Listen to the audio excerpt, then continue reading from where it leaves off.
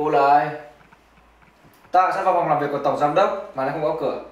Việc gì tôi phải gõ cửa Trong khi đây là phòng của tôi Cô từ đâu tới hỗn láo như vậy nhỉ? Cô tin là tôi... Anh định làm gì Anh làm gì được tôi nào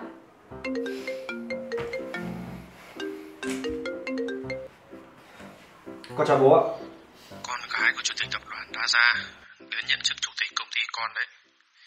Liệu mà đối xử? Còn nữa, cô ấy cũng là vợ sắp cưới của con đấy. Mối quan hệ không dễ gì có được đâu. Con đừng có phá rối tung lên. Bố xử đẹp mày đấy. Nhưng mà bố ơi, chuyện hôn nhân của con cơ mà. Làm sao có thể sắp đặt vô lý như vậy được ạ? Trên thương trường không có gì là vô lý cả. Kể cả hôn nhân, nếu có lợi thì càng phải theo. Là đàn ông hướng về việc lớn, không được để tình cảm nam nữ chi phối sự nghiệp. Rõ chưa? Nhưng mà bố ơi, Thế nào Chắc anh biết tôi là ai rồi chứ Nhị, chưa chắc đã nhục. Đến lúc trở thành chồng cô ta, thì công ty này vẫn là của mình thôi. Sao Không phục à xin lỗi chủ tịch. Là tôi thất lễ.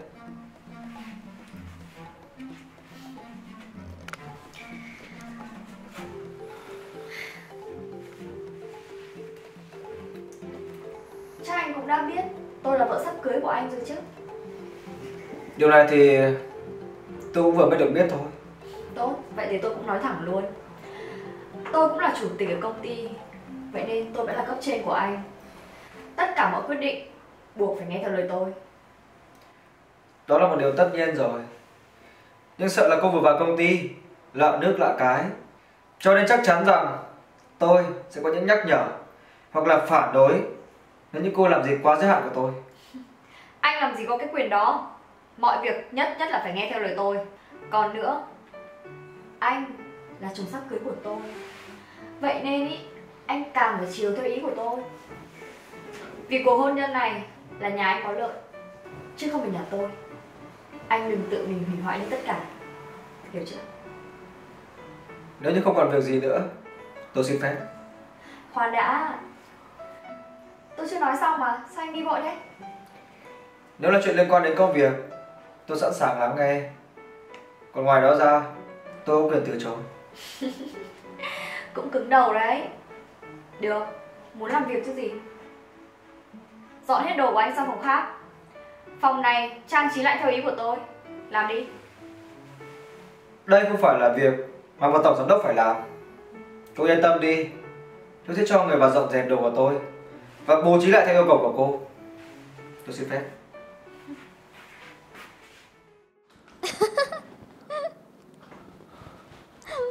Cô làm cái trò gì vậy hả? Ra ngoài gõ cửa Tại sao? Cô đã đuổi việc nhân viên của tôi.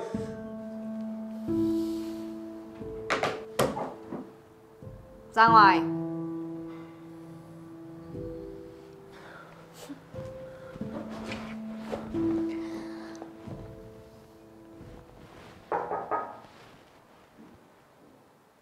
Vào đi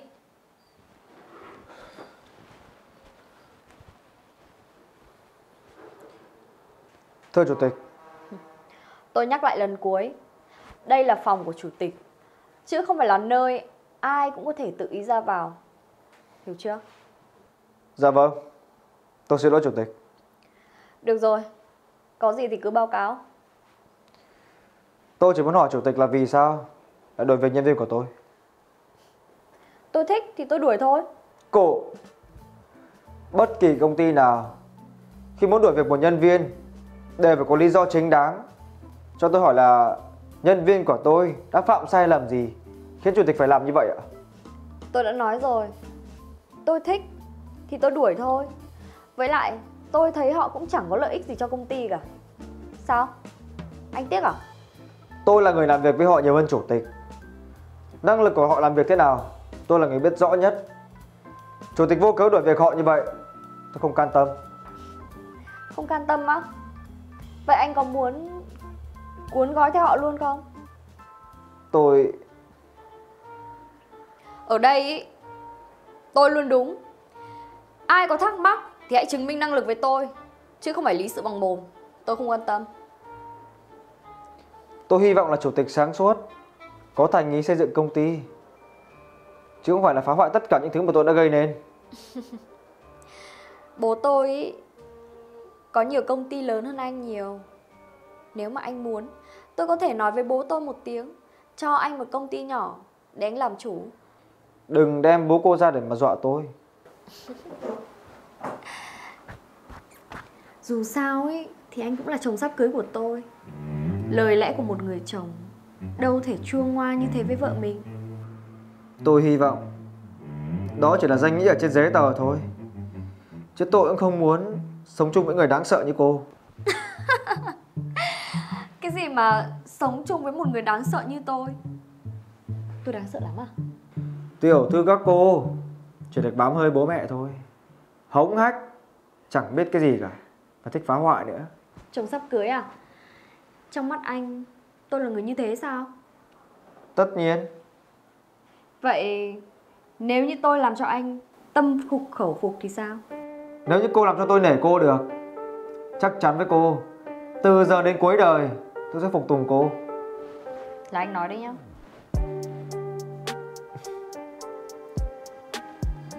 Tôi thề với cô Tôi Phan Minh Toàn Từ giờ đến suốt cuộc đời này Tôi sẽ không bao giờ cãi lại cô Dù chỉ nửa câu chết đi được. Được rồi, tôi sẽ chống mắt lên mà xem. Còn nếu như cô cố ý phá hoại công ty Thì đừng trách tôi đấy Tùy anh.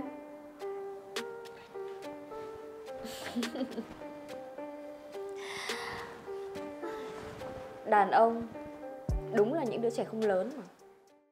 Phan Tổng đúng là tuổi trẻ tài cao, tiếng lành đồn xa. Được hợp tác với Phan Tổng là diễm phúc của tôi cũng như là công ty ạ. Tôi làm việc dựa trên khả năng Và tiềm năng phát triển của đôi bên Cũng không có gì gọi là quá đáng để phục cả Anh quá lời rồi Anh lại khiêm tốn rồi. Người ta bảo rằng một lần khiêm tốn bằng bốn lần tự cao. Đây lại đưa tư cách và đạo đức của anh lên một tầm cao mới rồi. Trước khi bắt đầu làm việc bất kỳ công ty nào Tôi cũng đều tìm hiểu rất kỹ lưỡng về họ Và tôi biết chắc chắn rằng Vì công ty của anh cũng là một nơi đáng để tôi hợp tác Chắc chắn rồi. Tại sao hợp đồng này chưa thông qua tôi và đã được ký kết dễ dàng như vậy? Đây là ai vậy Phan Tổng? Chủ tịch ạ À, dạ, chào Chủ tịch ạ.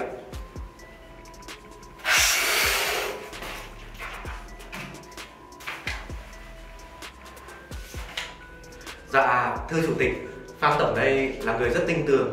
Anh ấy đã xem xét rất là kỹ hợp đồng rồi, thưa Chủ tịch. Tinh tường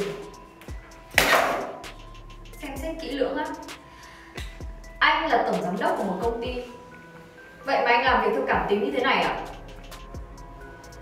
Hợp đồng này vấn đề gì sao? Hủy hợp đồng này cho tôi Ờ, thưa Chủ tịch, hợp đồng quan trọng như vậy, sao Chủ tịch nói hủy là hủy được ạ? Tôi cần một lý do chính xác Tôi làm việc không nhất thiết là phải cho người khác biết lý do Sao anh nói chuyện với Chủ tịch có vẻ lấn cấn thế? Cô ta vẫn làm khó tôi thôi Ờ, anh, sao anh Chủ tịch là cô ta? Thưa Chủ tịch Tôi cần một lý do rõ ràng hủy hợp đồng này. Còn nếu không Tôi sẽ tiếp tục làm việc với anh tiếp đây.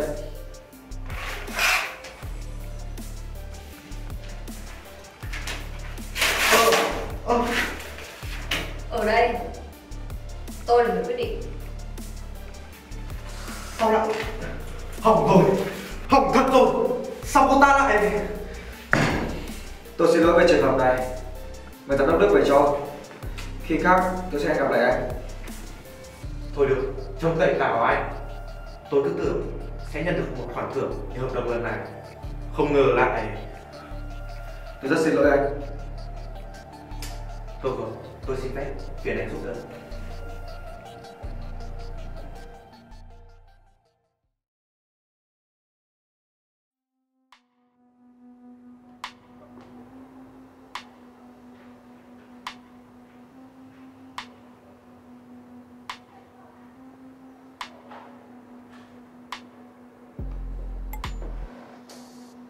Chào chủ tịch, Kế đó có người ngồi rồi thì sao nào? Anh muốn gì? Muốn gì á?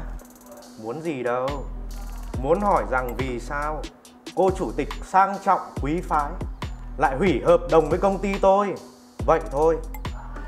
Vì tôi thích. Cô Với loại người như anh ấy, tôi không cần tốn thời gian, kể cả nước bọt. mày Tao không cần biết mày giỏi giang thế nào. Con cái nhà ai. Nhưng mày đụng tới tao ấy thì mày tới số rồi. Thầy bói phán ý là tôi mệnh lớn, sống lâu. Chẳng hay thầy Đức đây nhìn vào đâu mà phán là tôi tới số à? Mày May cho mày Ở đây chỗ đông người Tao không chấp Nhưng mày nên cẩn thận những chỗ vắng người qua lại đấy Nếu không thì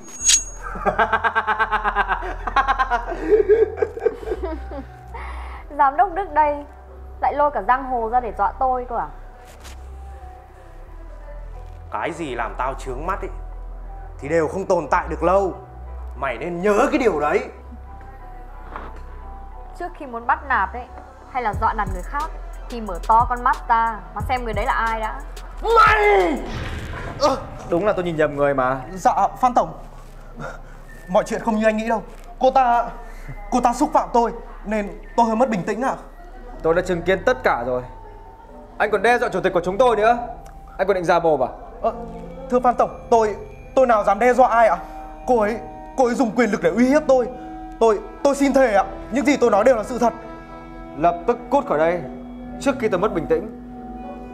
Dạ, tôi Cút!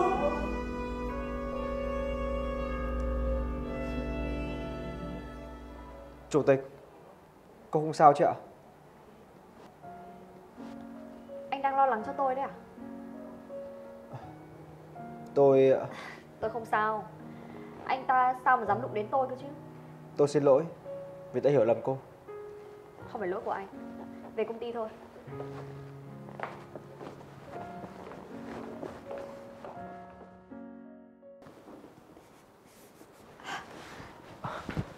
Chủ tịch Cô bị làm sao vậy Ra ngoài. Tôi cấm anh không được vào đây. Nhưng mà cô Ra ngoài đi.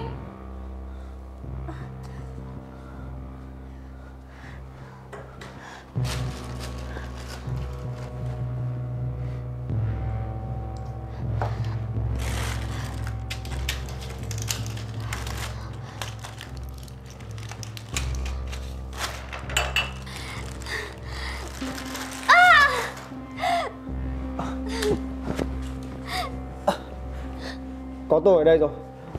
Không sao nữa rồi. Cô bình tĩnh lại đi. Anh tránh ra.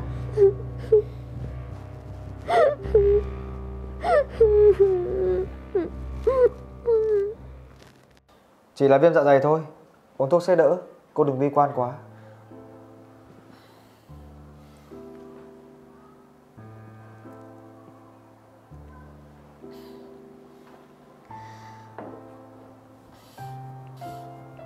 việc ở đây rồi. Về làm việc của mình đi. Nhưng mà cô Tôi không sao. Được rồi Nếu như cần gì thì gọi tôi nhé Thôi được rồi, tôi biết rồi.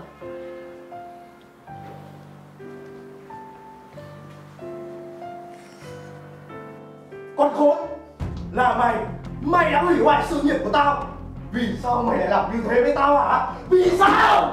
À! Con khốn. Vì mày. Mày đã bảo chủ tịch đuổi việc tao. Tao sẽ Bỏ ra. Anh làm cái gì ra? Bỏ ra. Dừng lại Tao là ma cũng phải giết mày. Con khốn này Trả tiền giám đốc cho tao. À! Bỏ ra. Anh mà còn làm loạn thì tôi báo công an đấy. Bỏ ra. Đây là toàn bộ chứng cứ về việc anh cấu kết với nhân viên của công ty tôi để ăn chặn tiền đầu tư.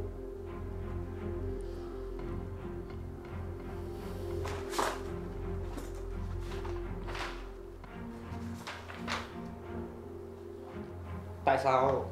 Tại sao cô lại có thứ này?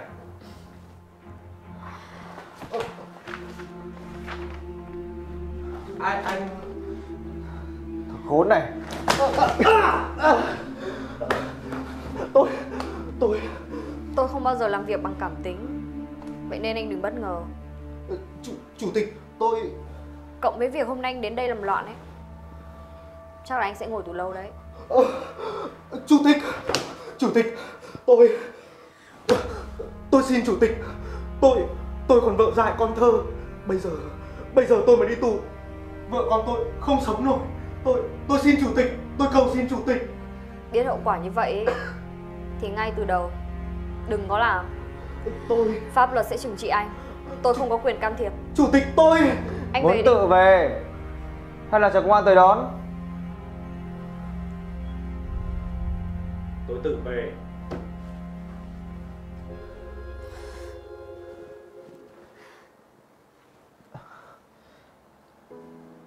Tôi xin lỗi vì đã không tin tưởng em.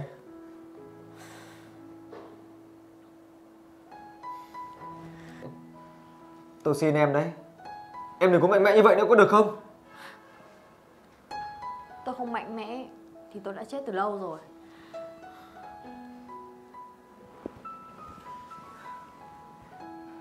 Từ nay tôi sẽ bảo vệ em. Tôi sẽ không để cho em một mình gánh chịu nữa.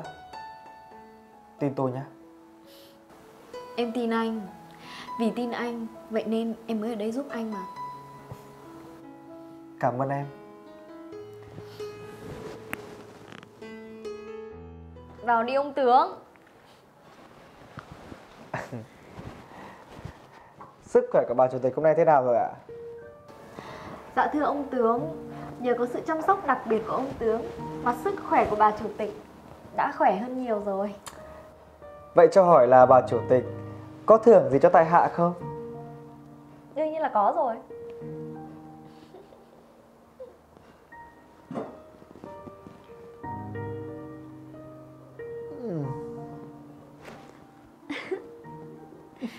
Đây là phần thưởng cho nhà ngươi. Nếu như mà biết em đáng yêu thế này Anh đã nhất quyết phải nghe lời của em rồi. Lúc đầu ai bảo em đáng sợ? Ừ thì đáng sợ thật mà. Phụ nữ gì mà hung dữ? Anh bảo ai hung dữ? À, Không. Vợ anh là đáng yêu nhất mà. À, Cho anh đi. Để xem á Anh có dám nói em hung dữ nữa không? Không anh không dám đâu anh chừa rồi. Nhà là phải có nóc Nóc nhà này mãi đỉnh.